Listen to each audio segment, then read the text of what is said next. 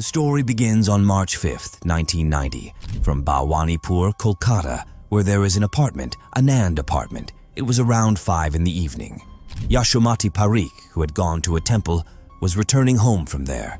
She took the lift to go into the house, as her apartment was on the third floor. When she reaches outside her house, she knocks on the door, but no one comes from inside to open it. Yashomati Parikh keeps knocking on the door again and again, but there was no response from inside. But still, she knocked loudly for two to four minutes, but still there was no response from inside. Now Yashomati started feeling very scared, so she knocked loudly. She knocks the door and makes loud noises, but no sound comes from inside. Due to the noise, people start gathering outside. Now do you know who is inside the house? Inside the house is Yashomati's 18-year-old daughter, Hetal Parikh. Now gradually people start gathering here. The door was not open, due to which people think of breaking the door and break the door. After that, Yashomati goes inside the house with the neighbors. As soon as Yashomati steps inside the house, she finds her daughter's clothes on the ground which she had worn just today. Now here, her heart beats very fast. She runs to her daughter's room, but as soon as she opened the door, her daughter was lying on the ground, blood splattered on the walls of the room, only red blood was visible everywhere. Seeing this, her mother screamed. She understood. He couldn't figure out what happened to his daughter, and from here began a mystery that whoever tried to solve started doubting his own results. This story starts with a family in which four people live, Nagardas Parikh, Yashomati Parikh, Hetal Parikh, and Bhavesh Parikh. Nagardas and Bhavesh had a jewelry shop which was running a good business. Yashomati Parikh was a housewife and her daughter Hetal Parikh was a 10th class student at Welland Gouldsmith School. As I told you, Hetal was in 10th class and her board exams were to be held in the month of March. It was the 1st of March. Early in the morning, her daughter left for her school, packed her bag and went down with her luggage. Because they lived on the third floor, she leaves the house around 7 p.m. and comes back to her house at 1 p.m. After coming home, she tells her mother that the security guard of our society looks at me in a very dirty manner and he also teases me often. When her mother hears this, she ignores it and tells her daughter to concentrate on her studies and ignore all these things. The next day, Hetal doesn't go to school, and on the following day, March 3rd, she attends school. Upon returning home, she informs her mother that the guard has been asking her to go for a movie in a very inappropriate manner. Initially, when the daughter first mentioned this to her mother, some action should have been taken. But this time, when the daughter brings it up again, her mother gets angry. In the evening, when Nagardas Parikh returns home, she tells him everything. Later, Nagardas Parikh files a complaint in the society, and the society forwards the complaint to the security service company. The society had initially removed him, but he later returned to work through another company. Let's find out more about this guard. The guard's name is Dhananjoy Chatterjee, 25 years old, already married. He doesn't talk much with anyone in the society. Now, on March 4th, the security service company tells Dhananjay, You will go to some other apartment and give duty. Now you will not come to Anand's apartment because a complaint was made against him. Now the day of March 5th comes. The date, remember. Dhananjay was supposed to go for work in some other apartment but he does not go there for duty. He comes back to Anand apartment. Early in the morning, Nagardas leaves for his shop and he also sees Dhananjay. But a strange incident happens here. We will tell you further what happened. Now, Hetal had an exam that day. Hetal also leaves her house early in the morning and has to come back by around 1.30. Now, Dhananjay's duty was from 6 o'clock in the morning to 2 o'clock in the afternoon. Although he was not going to come here to do duty, Still, it was not known why he came. Dhananjay's duty was to end at 2 o'clock in the afternoon, but it was already 4 o'clock in the evening. Dhananjay was still standing there, although the second shift guard had also arrived. But Dhananjay was still in this society. Dhananjay did his guard duty. He was still wearing his clothes. Dhananjay went to the room given to the guards to sit and took out his clothes from his bag and changed. Now he wore gray-colored pants and a cream-colored shirt, and he stood in the society till 5 o'clock. Now it was 5.20 here. Yashomati Parikh goes to the temple at this time as usual. At 5.25, Dhananjay leaves to go to the third floor. Another guard's voice comes from behind, and he asks him where he is going. Dhananjay tells that I have to go upstairs and make a call, and I have to talk to my agency people.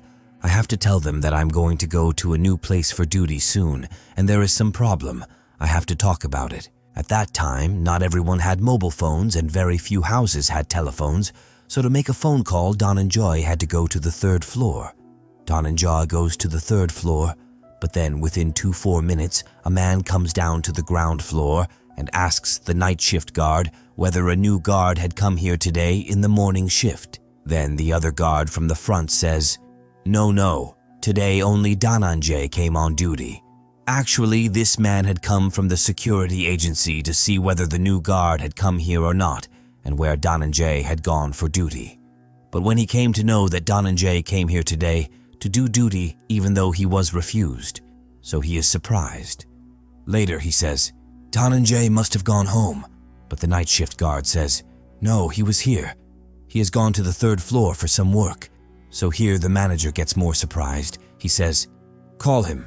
Now the night shift guy calls loudly, calling Dhananjay in the name of Dhananjay. Come down, Dhananjay, hears the voice and says, yes, I am coming. Within about five minutes, Dhananjay comes down. That means he went at 5.25 and came back at 5.45. Waited upstairs for 20 minutes when he comes down. The agency manager asks him, why are you here? Have you come? So while talking like this, both of them start going out of the society. Dhananjay tells that I will go to the new place for duty only after a few days. After this, Dhananjay picks up his luggage and leaves. Now the time was 5.50. Now in the beginning of the video, we told you that Yashomati Parikh comes back from the temple, knocks the door, and then she sees the dead body of her daughter, Hetal Parikh. When the people come to know that such a big accident has happened here, everyone starts coming to Hetal Parikh's house. Father Nagardas and Bhavesh are also called.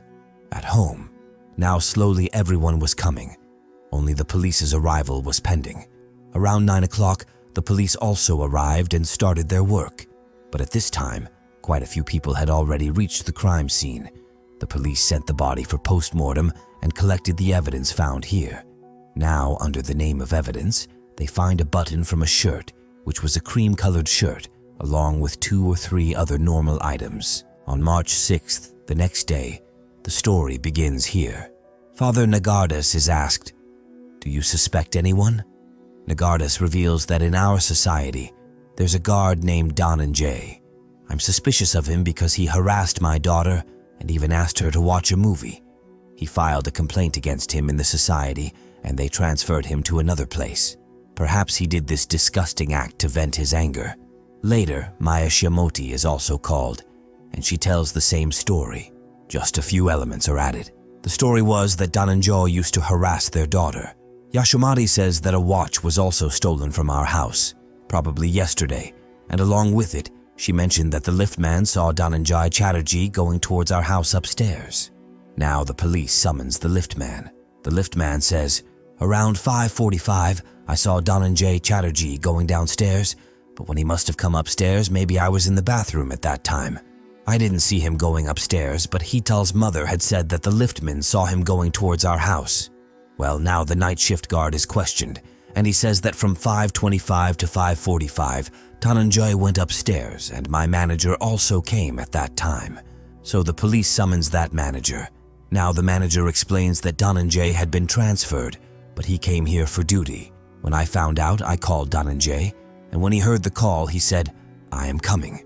Then he came down and I asked why he came here for duty. He explained that he had to go to the village this evening, so I came here for duty at a new place for a day. After that, the manager explains that Dhananjay took his bag and went to watch a movie. After watching the movie, he had a train ticket for the evening, so he went to his village from there. Now the police ask why he suddenly went to the village and the manager tells them that there is a ritual or tradition in their family as a child was born there and he was going to fulfill that. It's unclear how many days he stayed there. Then comes the post-mortem report. The post-mortem reveals 21 wounds on the body and there has been sexual intercourse. Remember this term carefully. It is mentioned that he was strangled. Subsequently, on May 12, 1990, approximately two months later, the police go to Dhananjay Chatterjee's village and arrest him. Along with him, the police find clothes that he wore on March 5th and a watch that matches with it. Now let's find out what happened according to the police on March 5th. According to them, Yashomati goes to Yashomati Park at 520 and Dhananjay goes to the temple at 525. On the third floor, there was no lift man through the elevator. He had gone to the bathroom. When Dhananjay goes afterward, perhaps the door in Hetal's room would be open, because if the door wasn't open, why would Hetal open the door upon seeing Dhananjay? After that, he goes inside, commits first, then strangles her, and later attacks with a knife. Now he comes out of the house. After that, when his manager came, he scolded him from below. Dhananjay, standing there, had said, I'll be there in a hurry. Then he must have come down. After that, at 5.50, Yashomati Parekh would have returned, meaning Dhananjay had 20 minutes in total. But between all this, there are puzzles that you'll find out now. So far, everyone who knew the story was against Dhananjay, and Jay, and all evidence was pointing against him. You also consider Dhananjay the murderer. Absolutely correct. Keeping all these things in mind, the case against Dhananjay begins. See, it is shown here that Dhananjay had a motive to kill Hetal, and he found the button of the yellow shirt from Hetal's room, which he was wearing at that time. Behind this, there is another story. Later, a watch stolen from Hetal's house was found with Dhananjay. They also tell a very big story behind it. With this, one thing I didn't tell you. On March 5th, when the police first entered Hetal's house, they found a cream-colored shirt button there, along with a chain. When the police asked, whose chain is this? Yashomati said, it's not ours, but the person who cleans here says it's mine. After that, she says that I had gifted this chain to Dhananjay. Now, in front of the police, there is a chain that has fallen from Dhananjay. Dhananjay also picked up a watch which he had recovered and also found a button from Hetal's shirt. Because of this, Dhananjay receives the death penalty for the first time here. He had three charges, murder, rape, and theft. Dhananjay goes to the High Court where the same sentence is maintained. After the High Court, there is also a sentence in the Supreme Court. After that, a mercy petition is filed in front of the President of India, but it is rejected. In other words, now Dhananjay's hanging was fixed, and it took 14 years to do all this. Now you might think, so the decision has come. Why are we sitting here? Wait a moment. Be patient. Well, on August 15, 2004, Dhananjay was supposed to be hanged, and the name of the executioner who was to hang him was Nata Malik.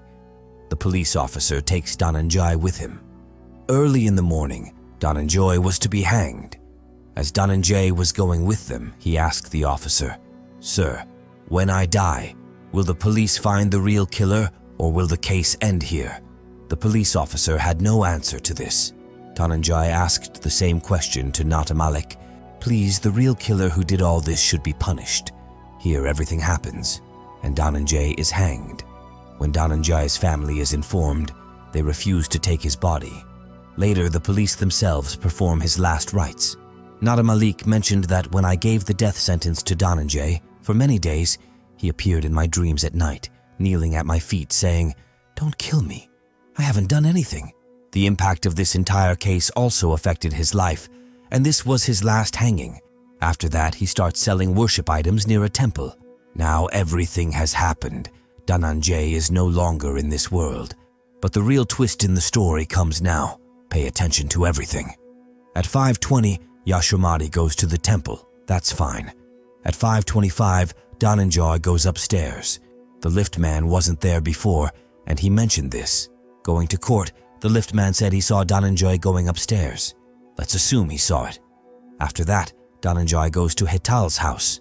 Hetal's door was usually closed, so why was it open that day? If it wasn't open, how did Dhananjay go inside? Surely Hetal must have opened the door. But when Hetal knew that Dhananjay was outside because he could be seen through the door, why did she open it while he used to harass her and she was alone at that time? Why did she open the door? Let's assume that the door was either already open or left open, and then Dhananjay entered. All right, there Dhananjay did everything I told you. After that, how did Dhananjay come out? Because when he went from inside to outside, who closed the door from the inside? When Yashomati returned to the temple, she bolted the door because it was closed from the inside. So how did this happen? This is a big question. There are many questions ahead as well. Also, remember that Dhananjay stole and took the clock in 20 minutes without touching any other household items. Anyway, when Yashomati came back at 5.50 according to her, Hetal wasn't opening the door. She knocked a lot, called people around, but why didn't she try calling on the phone inside the house before pushing the door? It could also be that Hetal fell asleep, having taken an exam. Who knows if she fell asleep? But she didn't think about calling even once, just pushed the door directly. Now the question here is also why, if Dhananjay stole the watch, did he keep it with him for two months? He knew he would eventually be caught, and the only evidence he had was the watch, along with another piece of evidence, the button from the shirt that had fallen off.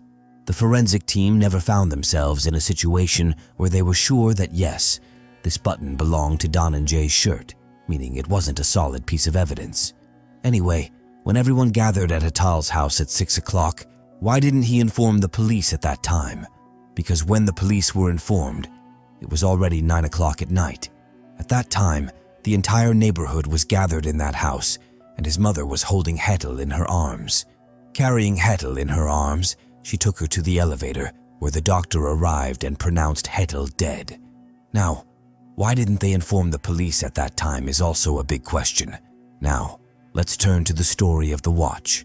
Look at the watch that Dhananjay received from the shop where the Parikh family had bought it. The shopkeeper then said that the watch is the same, but its serial number is not the one we sold to the Parikh family. In other words, the watch model is the same, but the watch Hetal's family bought was different because its serial number was unique. The serial number of this watch is different. Now here, another strange thing was that when this case was ongoing, Hetal's mother Yashomati left her entire home and went to Mumbai within a week, and within six months, the whole family, whose business was doing well, also left everything and went to Mumbai.